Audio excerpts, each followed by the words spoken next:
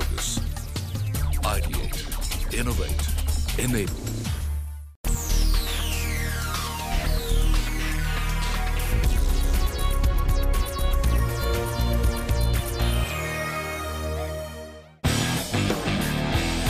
On the sidelines of the 12th Auto Expo in New Delhi was held Forbes India Conversations in Excellence presented by Mercedes-Benz powered by CNBC TV 18, where eminent speakers spoke about how they have achieved excellence.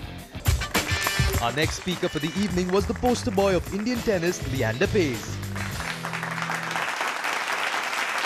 Just as Aristotle once said, I do believe that excellence is a culmination of a lot of hard work and some very, very good choices. As a young boy, I grew up in Kolkata to two parents who were Olympians. My mother captained India in basketball, all four feet nothing of her. I inherited my speed from my mum. My father, he was the workhorse. And he played field hockey for India in the 1972 Olympics. Interestingly, in Munich, he achieved a bronze medal. Growing up to parents like this, my two elder sisters and myself were very, very lucky to learn on the dining table what excellence in sport was all about. Mum believed that excellence came from repeatedly practicing your best weapons. My dad believed that excellence came about by repeatedly practicing your weaknesses so that there wouldn't be weaknesses no more. I believe that excellence and passion comes from practicing ironing both your parents' match jerseys for the country. As an eight year old, I used to take out their jerseys from their cupboard, I used to place them on the ironing board, and I spent hours on end just ironing in this deep blue that we play with our national jerseys. And my dream on that ironing board was to represent you in my first Olympics. It was a cold summer in Osaka. I played on a clay court surface that I wasn't comfortable on. And eventually, when I qualified for my first Olympics, I went off to Barcelona. And in 1992, just before I embarked on playing my first Olympics, my dad had one piece of advice. He says, Son, this is your first one. You're hopefully going to play another one, so have fun. I listened to dad. I had a lot of fun in my first Olympics. And after we beat the top seeds, Woodforde and Woodbridge in the first round, Ramesh Krishnan and myself in the doubles had a chance to covet a medal for India. We fell short in that quarterfinals, but another dream was born. And that dream was to try and do it in singles. Four years later, I represented India in Atlanta in 1996, and I spent three and a half years practicing on playing at an altitude.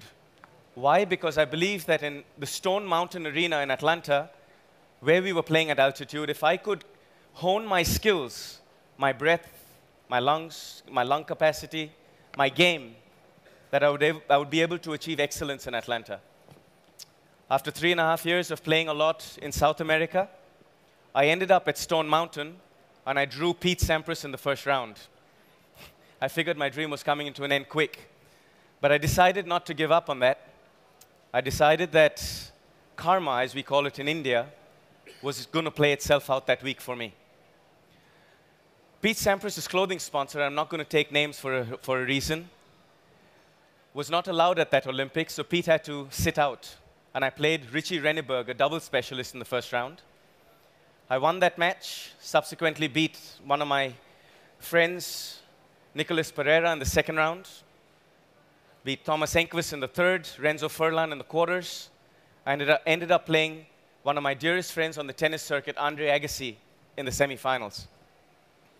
The morning of the semifinals was a tough morning because I knew that my toughest opponent was Andre. I'm a serve and volleyer, and Andre is the perfect machine on the baseline. When I got up that morning, I wasn't feeling that good. And later on that afternoon, I realized why. I was up 6 5 in the first set. Andre was serving at 1540. And when he hit a first serve off the, off the service line, I chipped it to his backhand corner and I came in. When I positioned myself at the net, I figured I had the down the line covered, I figured I had the lob covered, and I figured I had the short cross court covered. But the sheer excellence of the man and the brilliance of him was he realized that I knew I had most of the shots covered and he rifled a backhand as hard as he could, right at my jaw. That ball came to me pretty quick. I had fractions of a second to react to it.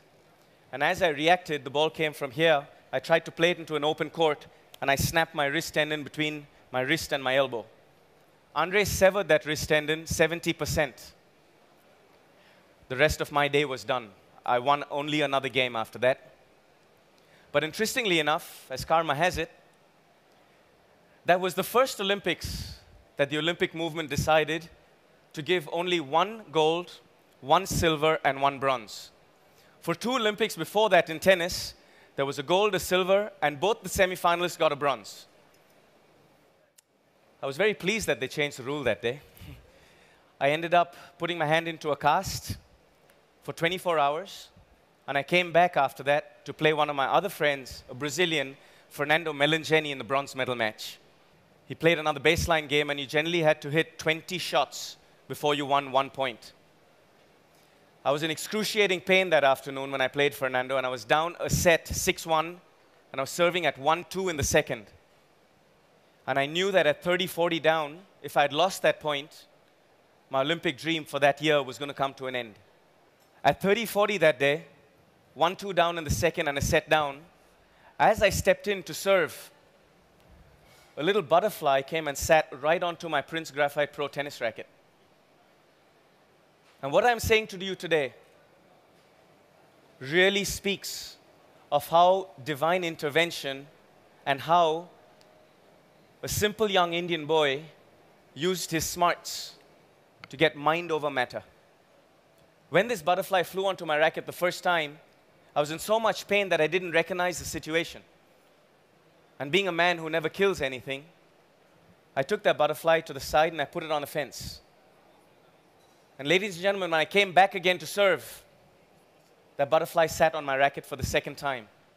And when she sat on my racket the next time, it came to me that this butterfly was a situation for me to distract my opponent that day. I picked her up onto my forefinger. I walked up to the net. I was able to distract a young man who was just on a threshold of winning his Olympic medal and play with the butterfly. I handed it over to him. He took it in his hand and he played with it and he put it up to the crowd. And the whole stadium went, Rah. I figured I had him a little bit, but it wasn't quite enough yet. So when he gave it back to me again, I started talking about the colors of that butterfly. I said, See, she's red, white, and blue, just like the American flag where we're playing. And he picked it up again. He goes, Yeah, that's right. And by then, Fernando had forgotten about tennis. I walked back to the baseline, and for 45 minutes, the excruciating pain that was in my wrist for the whole 24 hours before disappeared. I served an ace. I had a serve and volley. I won that point, won that game. I won the set 6 4. And when I was serving for the match and my bronze medal at 5 4 in the third set, I came up to the service line again. And as I bounced the ball, it was like the world had just opened up again. I suddenly came out of what we as tennis players and as athletes know as the zone. I was in the zone for 45 minutes.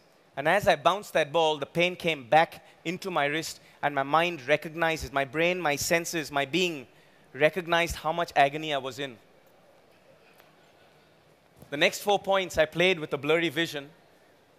I got four first serves in, I made four first volleys, and when that final ball sailed across my head, and sailed long, I achieved a little bit of history, which to me comes in a three inch circumference bronze medal. And I won India's first individual medal. But what the real story is here, that every one of us have achieved excellence, not only because the talent that we have, but because of the perseverance, the smarts, the student like ability and doing every single thing, every single day of our lives, the best that we can. In two years' time, ladies and gentlemen, I hope to represent you at my seventh Olympics. And I hope,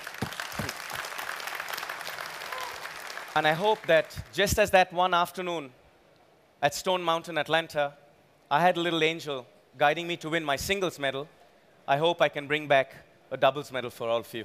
Thank you very much.